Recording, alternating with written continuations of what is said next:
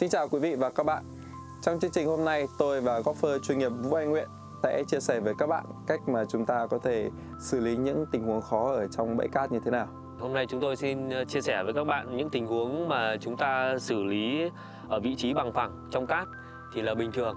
Còn có những sự tình huống khó hơn là như kiểu cát uphill hoặc cát downhill.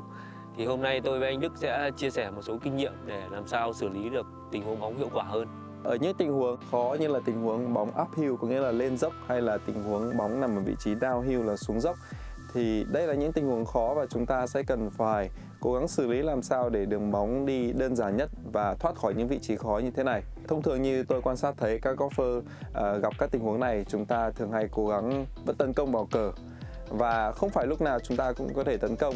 Ví dụ như ở tình huống ngày hôm nay chúng ta có vị trí lên dốc ở đây. Ở vị trí bóng lên dốc như thế này, cờ nằm ở phía trước thì theo tôi đây cũng không phải là một tình huống quá khó. Nhưng nếu đây là một tình huống xuống dốc à, mà lát nữa chúng ta sẽ nói đến các bạn sẽ thấy tình huống xuống dốc chúng ta xử lý khó khăn hơn những tình huống này rất nhiều đặc biệt là khi cờ ở vị trí phía phía trước của green như thế này. Với những tình huống như thế này thì không biết là anh Nguyễn sẽ xử lý những cú đánh lên dốc là như thế nào? Tôi thì trong những tình huống như thế này thì tôi sẽ giữ được độ thăng bằng tương đối ổn định này. Hai chân tôi sẽ bám vào cát và tôi sẽ không cố đánh quá nhiều cát hoặc là úp mặt gậy để chặt cổ bóng lên. Và tôi sẽ giữ độ thăng bằng ổn định này. Người hơi nghiêng về bên phải một chút. Mặt gậy mở và tôi cố gắng là đánh, giữ được cái đầu và lướt cổ bóng ít cát để đưa được cổ bóng lên vị trí mình muốn.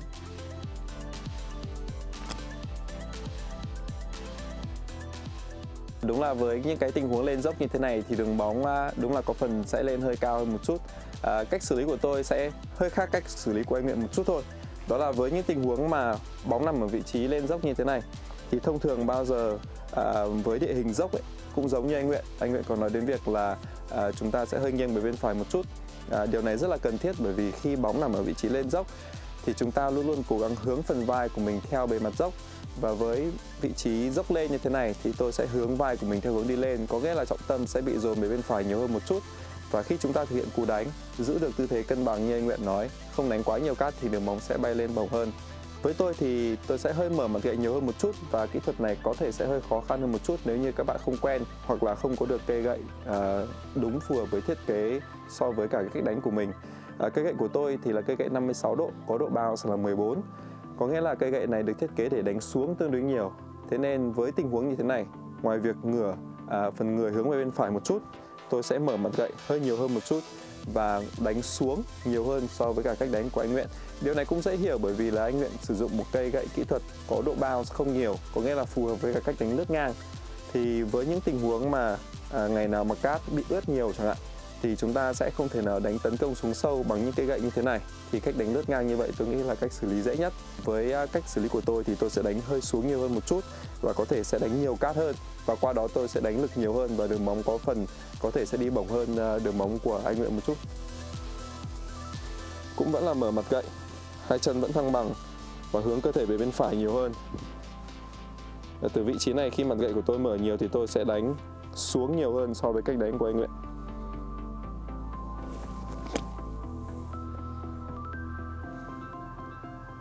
Tôi nghĩ với cả hai cách xử lý như vậy thì ở tình huống dốc này đều có đặc điểm chung đó là cả tôi với anh Nguyện đều hướng cơ thể mình lên theo dốc.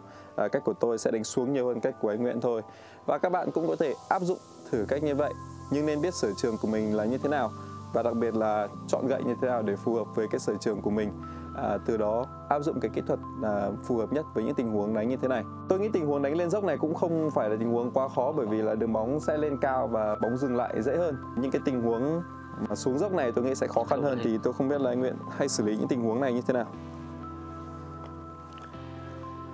Trường hợp xuống dốc như thế này thì thường là mọi người chơi thì sẽ muốn đánh quả bóng cất lên cao nhiều hơn nhưng mà tôi thì tôi thường muốn đảm bảo là quả bóng thoát khỏi hố cát.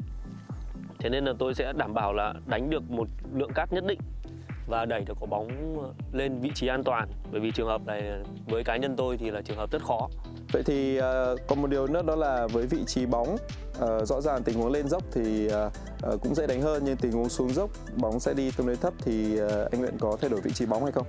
Với vị trí bóng này thì tôi thường là đặt sẽ lệch về bên trái nhiều hơn một chút để đầu gậy đi xuống được lướt qua quả bóng và đẩy được quả bóng lên cao hơn. Mặt gậy tôi sẽ mở hơn một chút và bóng về chân trái hơn. là tôi sẽ đánh xuống nhiều hơn là móc cây gậy lên. Sẽ không lướt ngang như lúc tôi đánh uphill.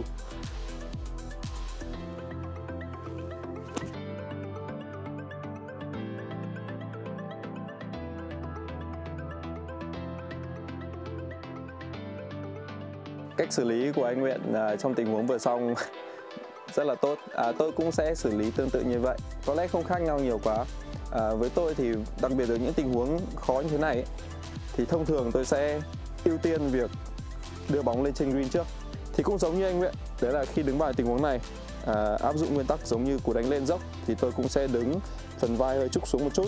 Thì khi chúng ta hướng xuống như vậy trọng tâm sẽ dồn về chân trái nhiều hơn. Và chính vì thế nên tôi sẽ đưa bóng tiếp tục về phía bên chân trái. Bởi vì trọng tâm dồn về bên trái chúng ta đưa bóng sang chân trái thì cơ thể sẽ di chuyển lên mạch hơn về hướng mục tiêu và cú đánh sẽ dễ thực hiện hơn. Và cũng tương tự như anh Nguyện thì tôi sẽ mở mặt gậy nhiều và cố đánh hơi lướt ngang một chút lướt ngang ở đây có nghĩa là lướt ngang so với cả bề mặt đi xuống. Có nghĩa tôi sẽ vẫn phải hơi cố gắng đánh xuống một chút. Bởi vì nếu như đánh ngang quá thì rất dễ đánh vào thân bóng và bóng sẽ đi quá xa.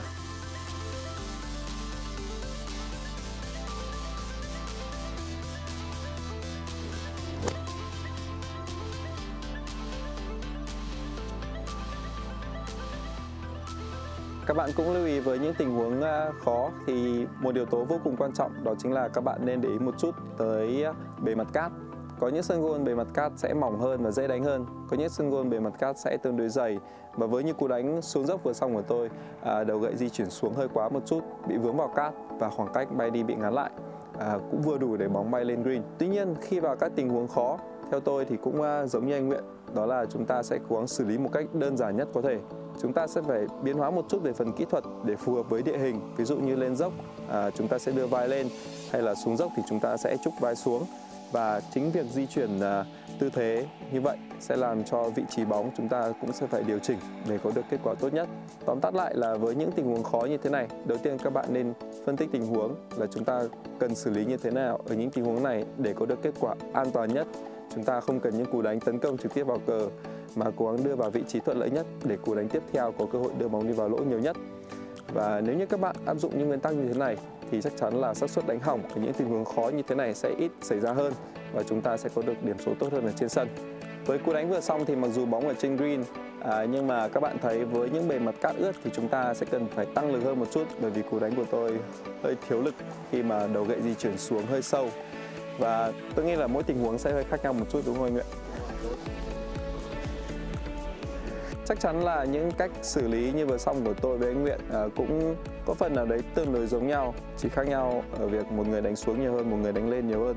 Tôi nghĩ là sẽ còn nhiều cách xử lý khác nữa trong các tình huống. Việc trang bị cho mình những cái kỹ thuật khác nhau cách xử lý khác nhau tôi nghĩ cũng rất là quan trọng. Theo tôi thì các bạn à, nên à, tập luyện với cách của tôi với cách của anh Đức cũng có những điểm giống nhau và khác nhau. Thế nên các bạn sẽ tập luyện để xem tình huống nào và các bạn xử lý như thế nào để hiệu quả hơn để có một cú đánh hiệu quả hơn trong băng cờ. Và cũng như trước đó thì tôi với anh Nguyễn cũng đã chia sẻ, việc chọn gậy cũng rất là quan trọng với những tình huống khác nhau ở đây, có nghĩa là cách xử lý. Chúng ta xử lý đánh xuống hay đánh lên thì các bạn cần phải có cây gậy kỹ thuật phù hợp với cách xử lý như vậy.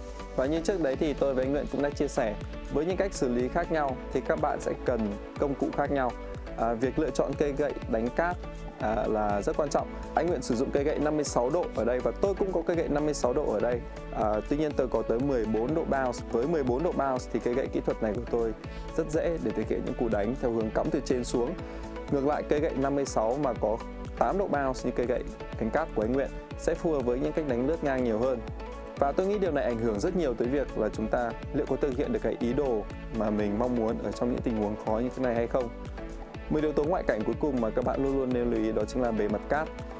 Chúng ta sẽ gặp các tình huống cát khác nhau ở những sân gôn khác nhau và điều này cũng ảnh hưởng ít nhiều tới việc là bóng của chúng ta bị nổi lên hay là bị chìm xuống.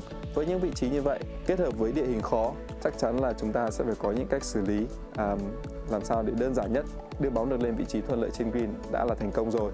Rồi từ đấy chúng ta sẽ cố gắng uh, giữ điểm số của mình để không bị uh, mất đi những điểm số uh, đáng tiếc và tôi nghĩ với những tình huống khó như thế này các bạn nên uh, tập luyện nhiều chúng ta như anh Nguyễn có nói đấy đó là chúng ta thử những cách xử lý khác nhau để xem xem cách xử lý nào là phù hợp nhất uh, với cả bản thân mình và sau đó chúng ta có thể áp dụng được ở trên sân Hy vọng quý vị và các bạn sẽ sớm cải thiện được phần kỹ thuật của mình và xử lý được những cú đánh khó ở trong hố cát ngày một tốt hơn và cải thiện được điểm số ở trên sân. Xin chào và hẹn gặp lại.